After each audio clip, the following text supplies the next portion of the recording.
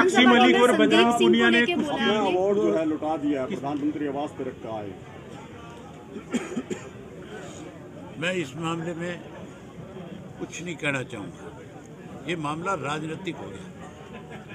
ये खिलाड़ियों से जुड़ा हुआ नहीं रहा। आप देख नहीं रहे भूपेंद्र सिंह हुड्डा जो है किस तरह से खिलाड़ियों को अपने घर बुलाता है और फिर ले जा करके प्रियंका गांधी से मिलाता है। खिलाड़ियों के मामले में राजनीति नहीं होनी चाहिए। सरकार ने अगर उनको कोई आश्वासन दिया था, प्रजातंत्र में एक तरीका है, जिसको वोट का अधिकार है, उसको चुनने का भी अधिकार है। अगर कोई कुश्ती संघ के अं- अंदर, जिसके पास वोट ज़्यादा होंगे, आप उसको बढ़ने से रोक नहीं सकते। कोर्ट ने पाबंदी लगाई थी, कोर्ट ने हटा दी कि नहीं हटा दी पाबंदी पूनिया को इनको ये इस तरह का स्टैंड लेने की बजाय अच्छे खिलाड़ी और तैयार करने चाहिए, ताकि देश का नाम रोशन हो, आगे बढ़े। हर किसी व्यक्ति को एक नज़र से नहीं देखना चाहिए।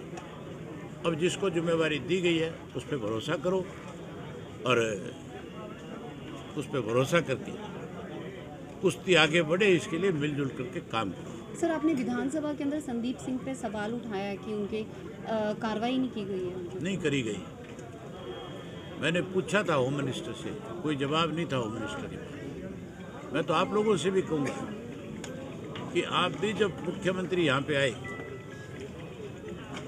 तो फिर महिला होने के नाते पत्रकार होने के नाते आप हर बार ये सवाल करो ताकि मुख्यमंत्री को कभी तो ये बात समझ में आए जैसे मोदी को समझ में आए किसान की तेरह महीने के बाद।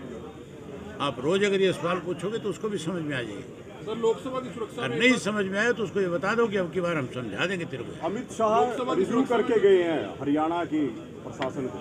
अमित शाह क्या करके? बैठक करके रिव्यू करके गए हैं एनसीआरबी की रिपोर्ट के बाद।